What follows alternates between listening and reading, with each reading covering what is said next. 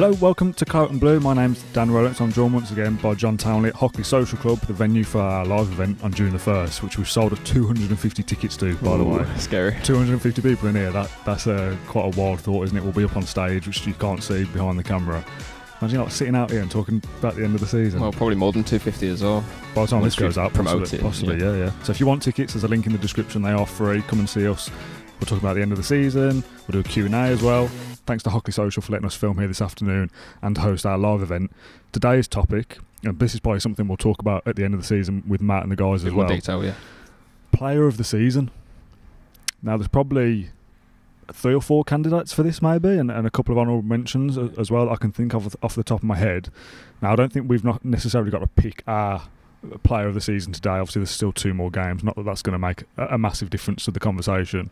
Again, as we as we record this, we haven't played Liverpool yet, and obviously Brighton on the final day. So let's nominate our, our picks then. At least I'll go first. John McGinn, somebody who, and I've spoken about this a few times on the podcast. I probably would have expected him not to be here next season when Gerrard was the manager. I just thought he's going nowhere. He's probably not going to be good enough to make the, the step up to the top six, and that's where we want to be. He struggled as captain. Yes, he's great internationally for Scotland, but it's a different level. At the top, you know, the higher end of the Premier League, he won't be here. Fast forward, what, five, six months? And I'm talking about him as player of the season, and I don't think he would be my pick, but he, he's certainly in the conversation, isn't he? Yeah, and I think everything you say there, Dan, is because of. And he said it himself, McGinn. He said, I think he's something along the lines of, I'd have to be one McGinn to kind of stay to stay in the team. Um, and what he means by that is that he needs to be Sexy. Yeah, or something that he hasn't been allowed to be, is what I'd say. It sounds simple, but we all know that his role under Steven Gerrard was a whole lot different to what he's playing under Unai Emery, which is something more similar to how he plays for Scotland. And whenever there's an international break, you expect him to score a handful of goals.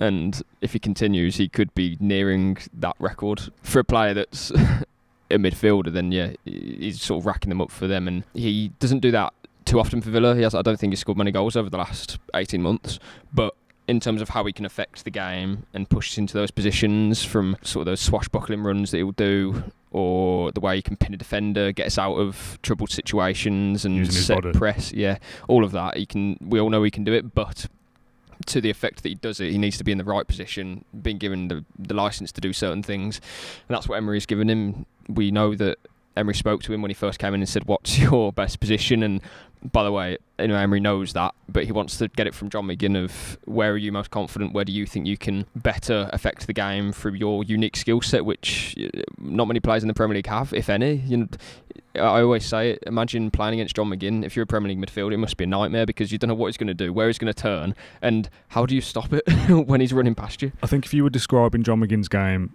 not that he's going to be this major club, well, he could be this major club legend. If you're telling your grandkids about John McGinn in, in 30, 40 years' time, and you were describing the way he kind of held players off and bullied his way through midfield and carried the ball, you, you kind of imagine him as this kind of like six foot three Yaya Toure type who's going to barge Yeah. around and body people. Yeah.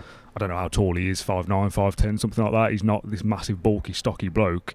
He's quite trim actually this year. He, look, he probably looks fitter than ever, but the description of the way he plays the game probably doesn't f- suit how he physically looks, which is maybe almost like part of the enigma. You kind of think, how's he doing that with his like his windmill arms and his butt back into people? It, it, what he does is is very unique. Yeah, that's the And- right word for it. and now that he's playing in an Emery team, again, you have to be at a certain level in terms of your technical ability, but also how you can how you can process information as well. I think that's crucial because again, we know that Emery sits his players down and does hours on debriefs.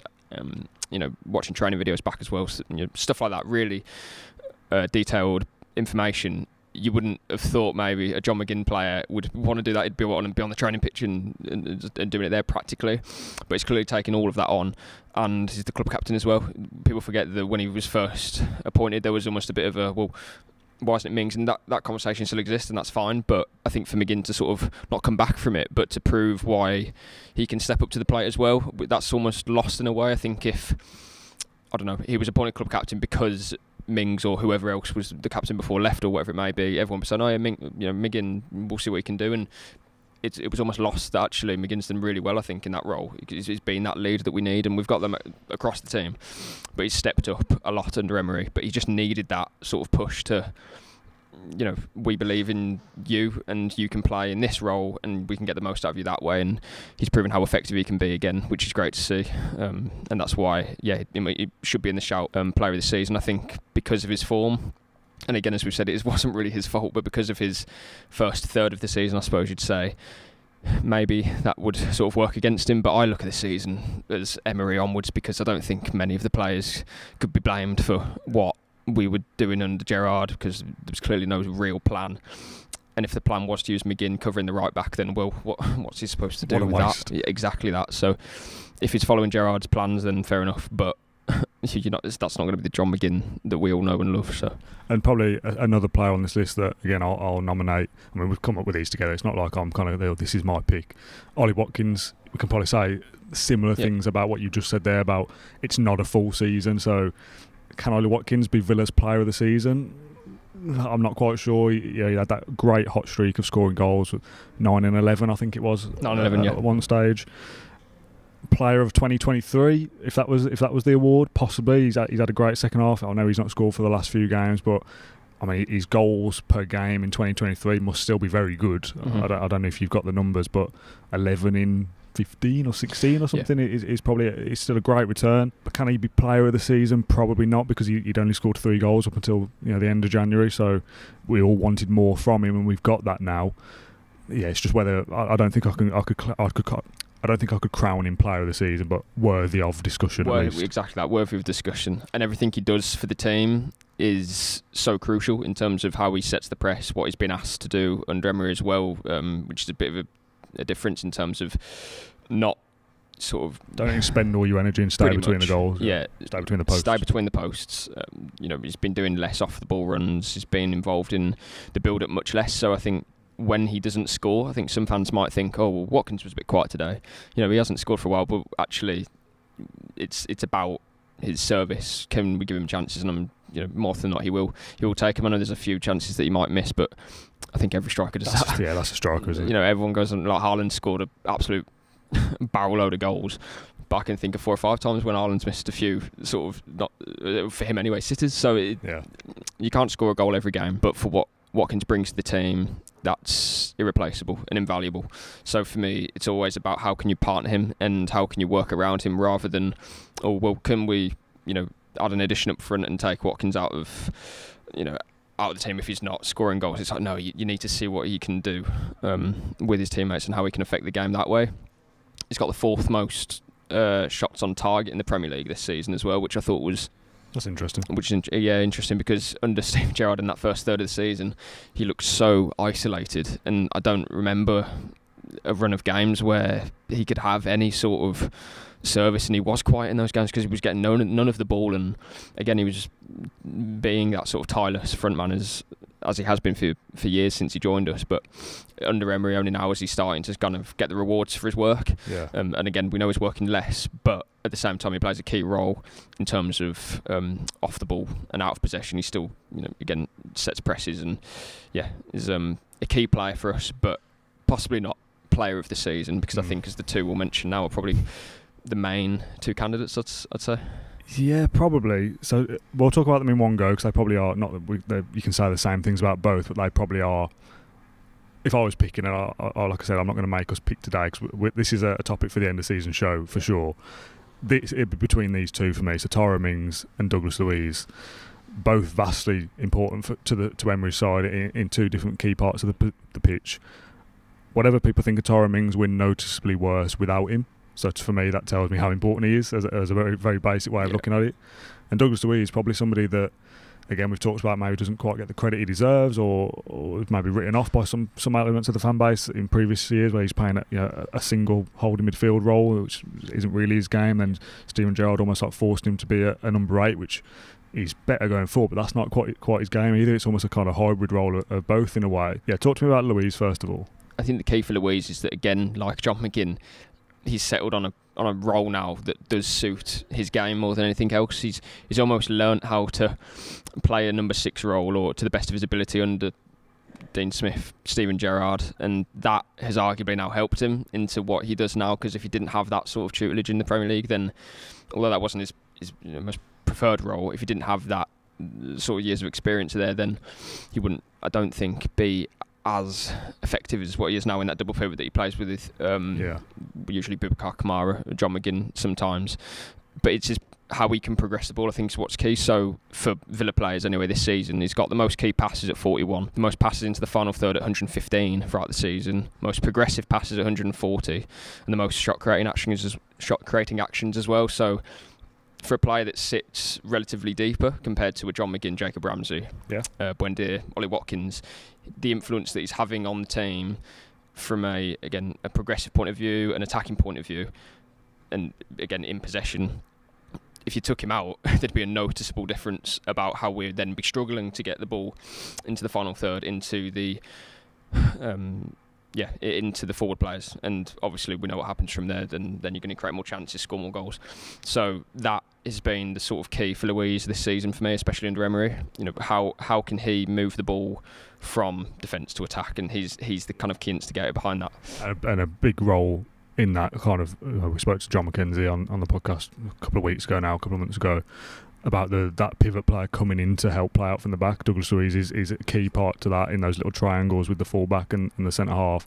Luiz will keep things ticking along, and you know we said it after the Spurs show that Spurs kind of dillying around at the back, trying to do what what Villa have done very well.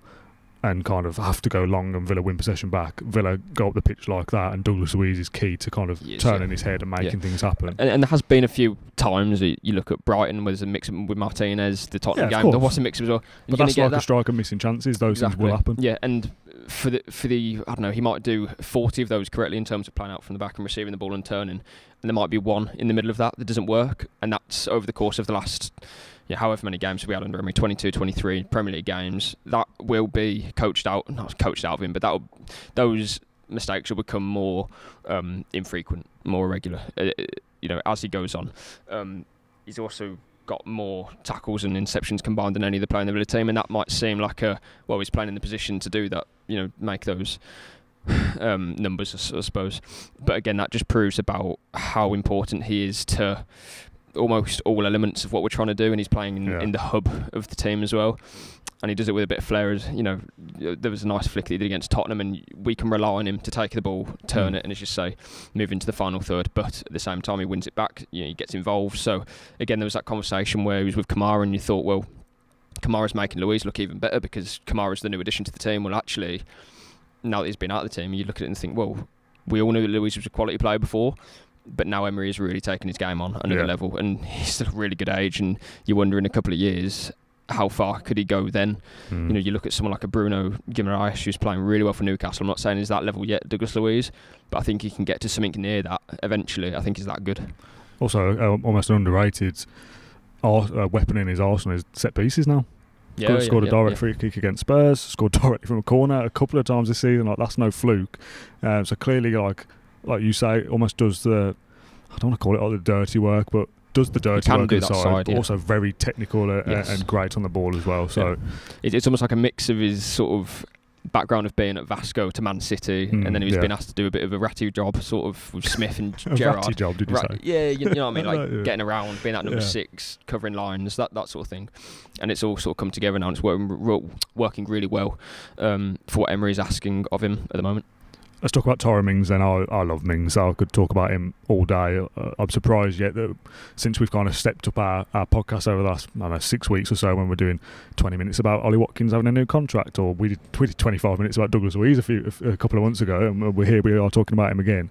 I'm surprised we've not done a why Tyrone Mings is brilliant at football kind of episode as well, a, ded- a show dedicated, Dedicated to to him that, yeah. which maybe is one for, for another time.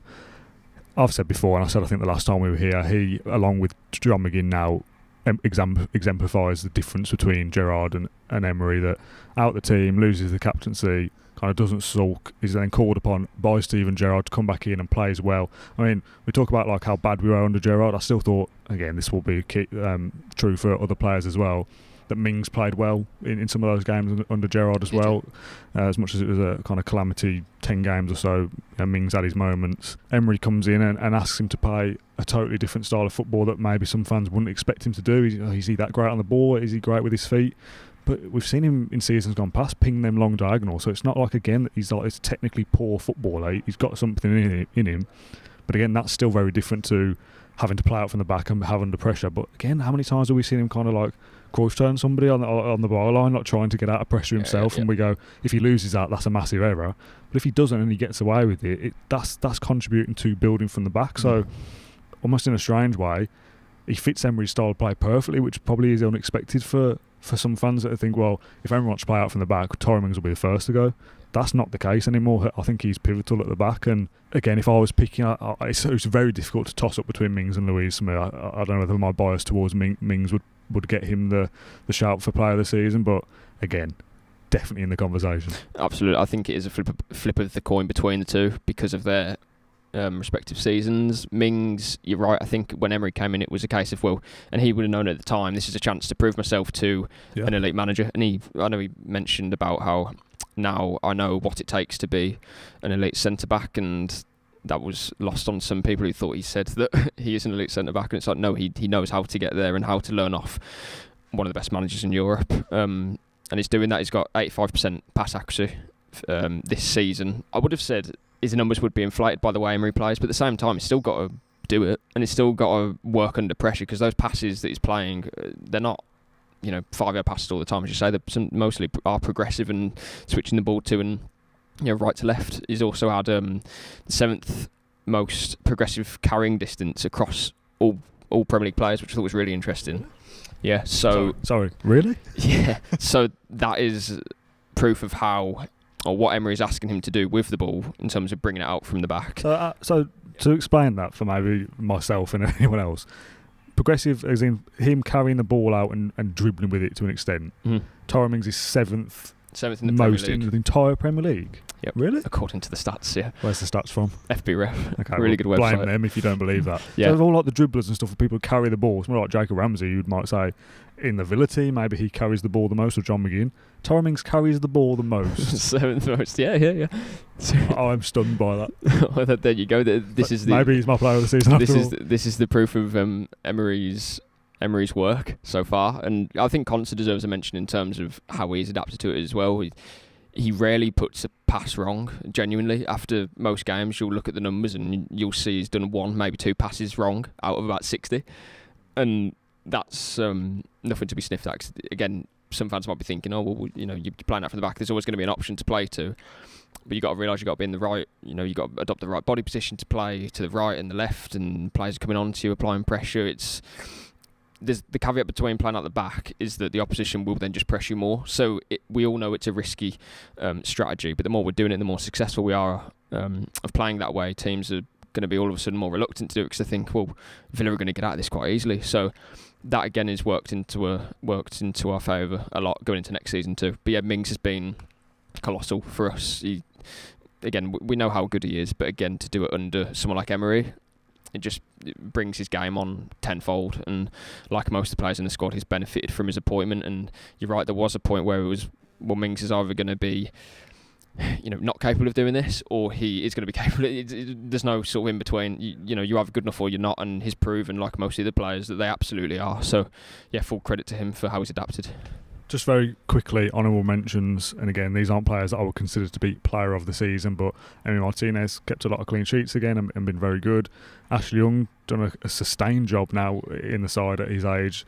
Again, you'd have thought, and I've, I've said a few times on the show that if he's playing a long distance of, of the of the league, you kind of think, well, maybe the recruitment's not the best, but he's come in and been brilliant on, on several occasions. And again, like his age is almost the defining factor. You think if he was 25, you go, oh yeah, he's a good player and he's doing a good job. But to do it at that age, at this level, unbelievable.